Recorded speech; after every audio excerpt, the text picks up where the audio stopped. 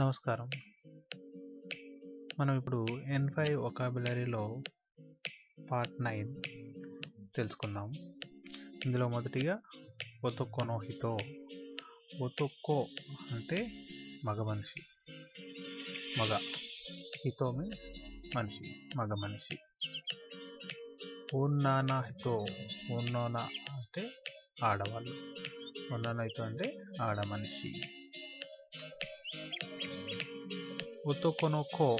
కో అనేది చిన్నపిల్లలకి ప్రిఫర్ చేస్తారన్నమాట. సో ఒతోకొనో కో అంటే అబ్బాయి. ఓన్నోనా కో అంటే అమ్మాయి. ఓన్నానా కో. ఓన్నానా కో.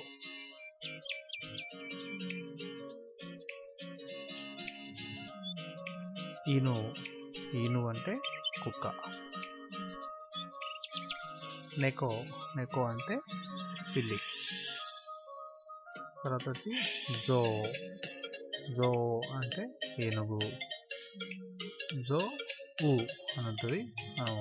జో అంటే సరిపోతుంది. కీ. కీ అంటే చెట్టు. మొనో. మొనో అంటే వస్తువు. ఆ వస్తువులు. దేంచి దేంచి అంటే బ్యాటరీ. హకో. హకో అంటే బాక్స్. డబ్బా. రేజోకో రేజోకో రేజోకో అంటే ప్రెస్. తన. తన అంటే సెల్ఫ్. అరవర. తర్వాత మాధో మాధో అంటే కిటికీ. కోయన్ కోయన్ అంటే పార్క్. ఇక్కడ కూడా కో ఊ ఏ ఎన్ నాలుగు అక్షరాలు ఉన్నాయి. తెలుగులోకి వచ్చేసరికి కో అని సంబోధించవచ్చు. Coen park. కిసాతెన్. కిసాతెన్ అంటే కాఫీ షాప్. యా. యా అంటే షాప్ ఆర్ దుకాణం. అంటే చివర్లో మనం ఏ దుకాణానికైనా చివర్లో యా అని అంటే అది దుకాణం కింద చూస్తామన్నమాట. హోన్ యా. హోన్ అంటే పుస్తకము. యా అంటే అంటే పుస్తకాల షాప్. హోన్ యా అలాగే యా అంటే దుకాణము.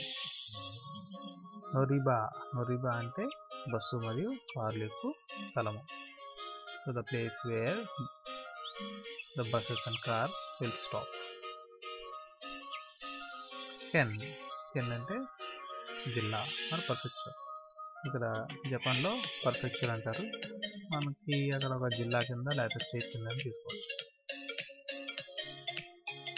ఉయే. ఉయే అంటే పైన. మీద. సిత సిత అంటే కింద. మాయే. మాయే అంటే ముందు. In front of. ఉషిరో. ఉషిరో అంటే వెనక. బ్యాక్. మిగి. మిగి అంటే కుడి. దారి దారి అంటే ఎడమ. నక. నక అంటే లోపల.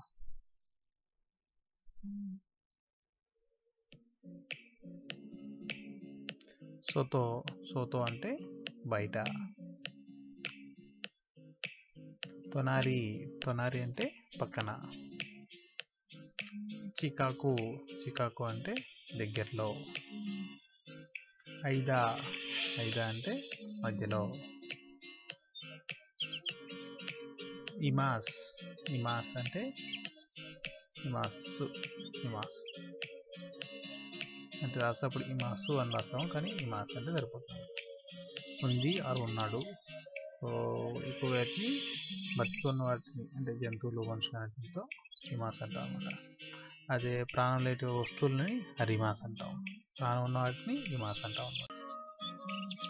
వెరాందా. వెరాందా అంటే వరండా. సందోచి.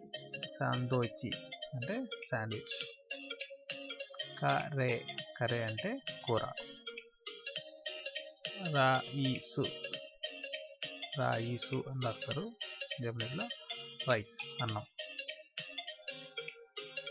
ఐసు క్రీము. సో ఐసు క్రీము. అంటే ఐస్ క్రీమ్. పోతేరు. పోతేరు అంటే హోటల్. పా తే ఈ పా తే ఈ పా పక్కన దీర్ఘము తర్వాత తే తర్వాత ఈ పక్కన దీర్ఘం పాతే ఈ పాతి. పాటి. రేమోన్. రేమోన్ అంటే లెమాన్ నిమ్మ. ఇంతటితో పార్ట్ నైన్ వచ్చింది పార్ట్ టెన్లో మళ్ళీ కలుద్దాం. అంతవరకు థ్యాంక్స్